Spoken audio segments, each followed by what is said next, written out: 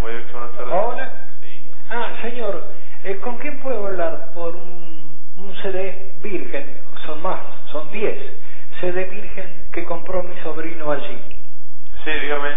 Me. ¿Qué problema tuvo? Ah, el problema que tiene mi sobrino es que él los coloca en la computadora. Yo a lo mejor técnicamente no sé explicarle cómo es, pero lo único que sabe es que no, no andan, no. Compró como que era una cosa perfecta. ¿Qué marca es eso? No sé. Parece que fueran tru ustedes venden, todos venden original, nada trucho, ¿no? ¿Era original? Sí, ¿qué marca era? En la marca, espera, a ver si por acá lo tengo anotado, a ver la marca del CD. A ver, espera un cacho, no cortes. ¿eh? Sí, no. Sí, claro, acá me dice mi hermanita. TDK. TDK, ¿y ustedes quedan encerrados con celofán? ¿Correcto? Sí, está bien, cerrado con celofán, pero a lo mejor lo encerraron ustedes con celofán.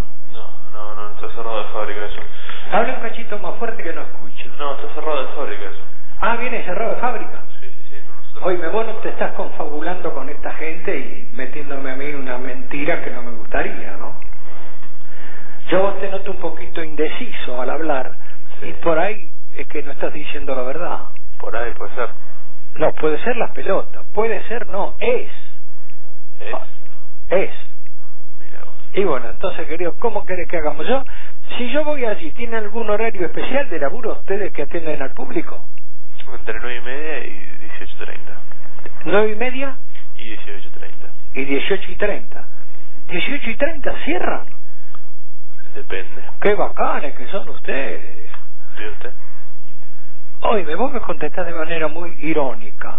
Ah, sí. Yo te estoy hablando de que los cassettes no sirven para una mierda Eh, y vos te la tomas en joda. CD, no cassette. ¿Se ve que?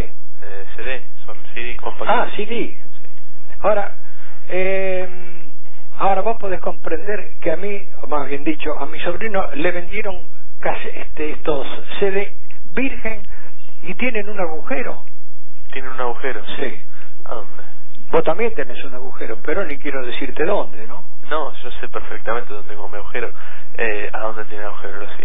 Vos sabés dónde tenés el agujero. Sí, perfectamente. ¿Por qué no te metés un dedo en el agujero? No, queda mejor así. Sí. Metete un dedo en el orto. Sí, Y es mucho mejor, vos viste que llena más. seguro. Seguro, sí. Sí, sí, sí. sí. Y bueno, mira, vos este, no, no has reaccionado ante la queja que yo te estoy haciendo y entonces de este, en este momento no sé si colgar o meterme el tubo en el orto. Lo que a usted le parezca. Lo que a mí me parezca, entonces cuelgo. Bueno, hasta luego.